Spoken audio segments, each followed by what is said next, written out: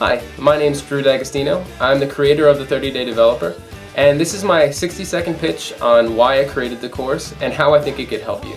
I started going to business school at Northeastern University in 2008, and I found myself in an environment where everybody had these great ideas for web-based businesses, but nobody could really do anything about it since they couldn't code. So after that, I decided to learn to code myself. Being a business student, looking out at the huge amount of information on the internet and this stuff can be terrifying. So I found myself over the next few months just making every single mistake you could possibly make building a website and wasting time and energy in tutorials that I probably shouldn't have even been doing. So I eventually learned to code, but in the end, I realized that this process could be a lot simpler and a lot quicker for business students. So over the last year, I decided to just create this course for business students to build websites that is brutally straightforward and gets you up and running building real websites within a month. So that's pretty much what this entire course is about.